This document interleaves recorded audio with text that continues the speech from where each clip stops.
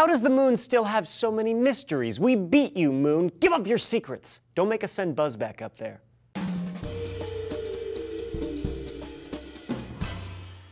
Hello, moon men and women. Julian here for D News. The moon is our little celestial sidekick, the Robin to Earth's Batman. And ever since we've noticed it up there, we've come up with all sorts of myths and theories of how it got there. For the last 40 years, we've had an explanation we were mostly satisfied with. But now, a new study published in the journal Nature Geoscience has revived the discussion of the moon's origin. The study suggests that the moon was formed a little bit at a time as small planetoids hit a young proto-Earth over and over 4 billion years ago. Back then, the solar system was still just getting together and sorting itself out, so collisions of these forming space chunks were a lot more common. Each time one hit, it would kick up a cloud of debris that would settle into a ring of dust around our forming planet.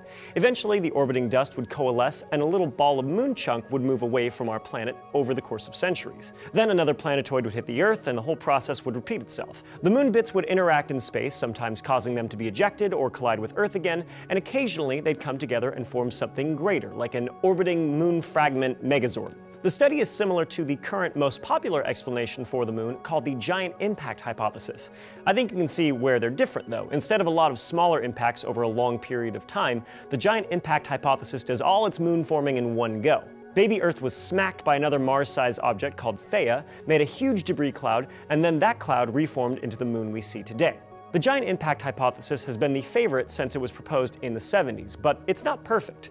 The biggest issue is the composition of the moon and Earth are really similar, which isn't what you'd expect if two large objects smack into each other. We think that when the planets formed, their composition depended a lot on how far they were from the sun. The farther away they were, the more likely they were to retain heavier isotopes of elements. So Earth and Mars have different levels of certain isotopes, like silicon. But somehow, Earth and our moon have surprisingly similar levels of silicon, oxygen, and titanium. To explain the similarities, Theia would either have to have formed roughly the same distance from the Sun as the Earth, or when it hit the Earth, it would have to have been spinning in just the right way to kick up more Earth material so the Moon's composition matches ours. It's not out of the question, but it certainly seems unlikely. Previous models of single giant impacts showed a moon like ours forming only 1 to 2% of the time. This is what led the researchers to model what might happen if the Earth was occasionally bombarded with smaller planetesimals instead of big old Theia. They found that if the moon is built up over time, the composition of the impactors can be different from the Earth's, but the debris will average out and mask what the original planetesimals were made of. When the researchers simulated this scenario 800 times, they found that there was better than a 10% chance of getting the moon we see today. Not great, but better.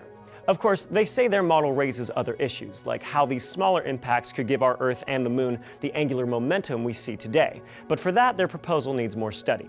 It does raise the possibility that we once had multiple smaller moons, though, or as I call them, moon moons. While we only have the one moon now, other planets in our solar system have them in the double digits. Why did we get stuck with just one?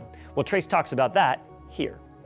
So which sounds better to you, giant impact hypothesis or assembling the moon IKEA style? Let us know in the comments, subscribe for more, and we'll see you next time on D News. By the way, it's my birthday.